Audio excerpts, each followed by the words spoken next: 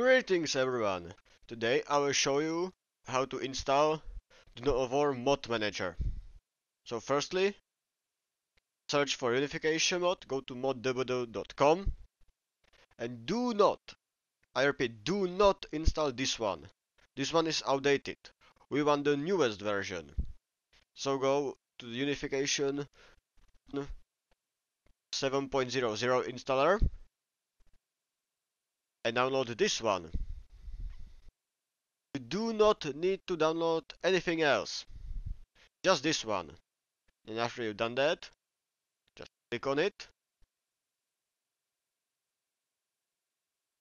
type agree, choose where your game is, for me it's the Steam, Steam Apps, of War, Soulstorm, click next, and if you want only the War Mod Manager, select only it like this.